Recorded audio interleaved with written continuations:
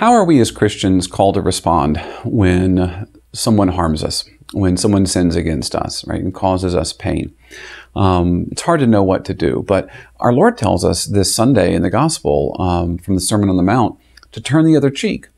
Uh, and we can easily misunderstand that to mean, um, oh, just ignore it, right? Uh, lie down and take it, right? But as Christians, we're not called to be wimps, and we're not called to be doormats, and we're certainly not called to, to stay in a in an abusive or harmful relationship, right? Or to pretend that someone's sin against us didn't happen. So, what does that mean to turn the other cheek? Um, well, we get some really good guidance in the first reading from Mass this Sunday from Leviticus, where we're told not to, um, you know, allow that sort of situation, not to allow someone's sin against us to lead us into sin, to be an occasion for us to incur sin ourselves. Um, and this is why we're not supposed to take revenge. Uh, this is why we're not supposed to, to harbor anger or, or a grudge in our heart towards someone. Because when we do those things, we're, we're letting someone else's sin against us be an excuse for us to sin against them. You know, when someone sins against us, that, may cause us pain, it may cause us suffering, but really they're harming themselves more than they're harming us because they, they have that spiritual guilt of that sin on their soul. Um, and if we choose then to, to use that as an excuse or an occasion for us to do something sinful back to them in revenge, well, that's on us.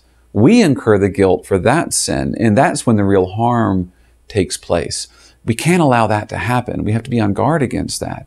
Um, and I'll give you a, a, a really powerful um, example of this, I, I feel. I knew a woman years and years and years ago who had been abandoned by her husband.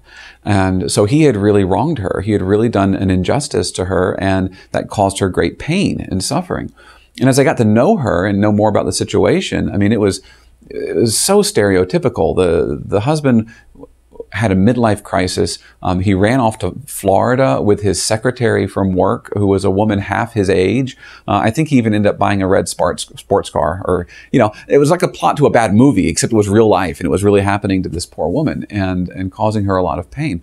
And as I was getting to know her, that had happened years ago, um, but she had never remarried. She had never uh, pursued any other romantic relationships because she considered herself still married. She even wore her wedding ring still. And the way that she described it to me, she said, I am married. Um, I have a husband. My husband lives in Florida with another woman, and he's a real jerk, right? And he's not good to me, but he's still my husband. And I'm not going to allow the fact that he chose to be unfaithful to be an excuse for me to be unfaithful. He may have chosen to break his marriage vows, but I'm choosing to keep mine because I meant them.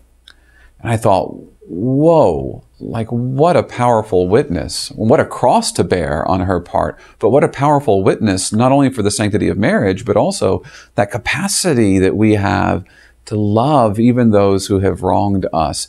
And and that the fortitude that this woman exhibited in refusing to to enter into sin because someone else had sinned against her and, and this is what our Lord is calling us to. When He says, you know, you've heard it said to, to love those who love you. Well, that's easy. He says, even the pagans love those who love them. As Christians, I'm calling you to love even your enemies. Love your enemies. Love those who have harmed you, right? If we learn to do that, then we learn to love how God loves, right? And, and how do we do that, right? It's, love is a choice. And this really emphasizes that fact that love is an act of the will. It's not an emotion, right? Because even though we may feel a lot of pain when someone hurts us, that pain doesn't mean we can't choose to forgive them.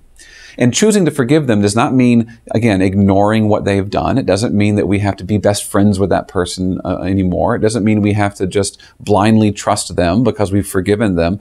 No, our Lord calls us to be prudent too. Prudence is a virtue. You know, that person may have proven themselves not to be trustworthy, so we shouldn't trust them. But that doesn't mean we have to hate them. It doesn't mean we have to um, act against them. We can still make that choice to love them and act for their good, even if the only way that we can express that love for them is to pray for them. Right? We're called to do that. If we do that, if we love even those who are our enemies, who have made themselves our enemies by, by their sin against us, then guess what? We're loving like God because God loves us Even when we were still his enemies, he loved us enough to die for us. And even when we are unfaithful to him, which we are every time we sin, we're unfaithful to God. We're violating our marriage vows to God that we made at our baptism. All right. Every time we're unfaithful to him, he still remains faithful to us. That's why that, that my friend that, who remained faithful to her husband, even though her husband was a real, you know, a real jerk, um, was such a powerful witness to me because in that moment I thought, wow, that's how God loves me, right? That's how God loves each one of us. Despite our sins against Him, despite our unfaithfulness, He still loves us. And that's how He's calling us to love one another in return. In that way, we can be His witnesses. Praise be Jesus Christ.